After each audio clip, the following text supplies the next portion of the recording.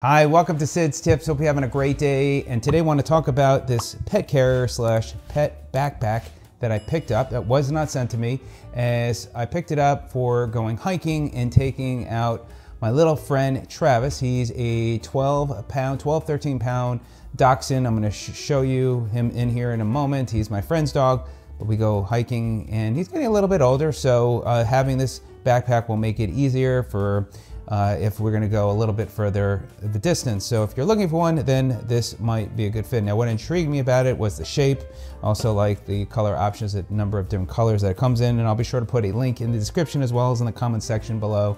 So if it makes sense, you can order it. Now, as far as the backpack, it does weigh about 2.12 pounds. So it's gonna be a little bit heavier. Uh, and I realized that as I started carrying him in there because he's weighing about 12 or 13 pounds. So anyway, let me just uh, share this with you. It comes just like this and the doors just open up. It does have this, which I like versus another one that I have. It has this soft faux material, which is black, which is better than white. I don't know why some other companies do that. And so then this, what, what's good about this then is that it uh, it, it, won't show dirt as easily. Uh, you can easily open the zipper, take the inside out, and which has got a foam padding to make it a little bit softer for your pet that you put in there. And then there's also Velcro to put it to the bottom.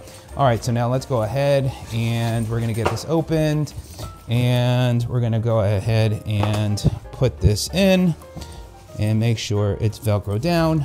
Now, We'll go ahead, it's got the side doors, you got full zippers to make it easy for putting your pet uh, in or out. So you've got a number of different ways that you can use this. So now we got it zippered up. Let me just show you everything about it. Now, first of all, you can see it's well ventilated and I like the fact that it's more um, rounder but wider, which is good. So it makes it easier. Some cut a little narrow at the top, so it makes more room a little bit tighter for the pet. So plenty of ventilation. So up here, you got a little hook that you can hang stuff. You've got a, a zipper here. So you got that, that's one section. The one thing I wish that it had was a, some kind of pocket uh, up front that you could maybe put rather than this opening. As far as pockets, you do have these side pockets that you can put stuff in. So if there was a couple things, one, uh, the, the pockets, uh, you got the two, but it wanted something zippered. But if you have another little waist pack or something else that you might use, then you can attach it maybe even onto here or onto your waist. So that's something to, to think about. Then you've got full, uh, well, it's actually three uh, halfway zip. So you've got this whole section and it gives a chance for the animal to, uh, you know, watch what uh, the surroundings and it stays locked. And then you've got this strap here. Uh, it's got a carabiner hook and you can adjust the inside so you could make it longer if you want as well. So you could see that can come out quite a bit, but they did a nice job. It feels like it's a, a good quality uh, strap there as well and that it's not going to slip out. Uh, then you can also, as far as this front here, from what it looks like, you can Velcro you can Velcro the, the front, which is smart that they have thought about that. So you got that there. And again, you have same thing on the side here. You got this door that opens up. You do halfway and it's got dual zippers, which is kind of nice. Uh, also, you could use like a lock if you're afraid that the pet might get out. Uh, you could put a like kind of padlock there. Then you got a, a, handle there to pull, and then you have your straps. The straps are padded, which is good, so it will make it more comfortable. And then for putting it on, let me go ahead and put it on here a second just so you can see that. And then I will bring Travis out here. We'll put him in there, and I'm sure he's gonna be so excited to go in. Uh, probably not, but that's okay. So we'll go ahead and you can adjust these straps where these can go down a little bit, which is good. So we'll move this down a little bit, get try and get this under the microphone. So you got that there, and then you also have a nice thick strap for your stomach waist area there.